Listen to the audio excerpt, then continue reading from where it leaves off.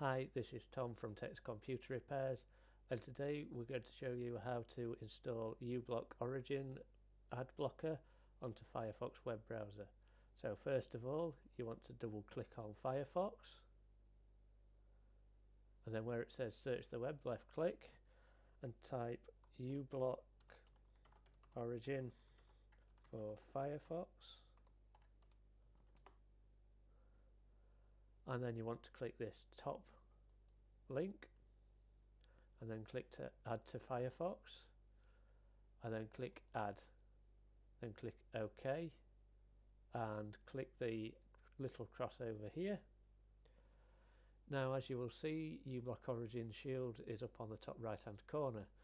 On occasion you will have to uh, stop uBlock Origin from uh, blocking pop-ups on a website such as a bank login etc so if you just left click on the shield this little box will open and just click the power button and then continue on as normal.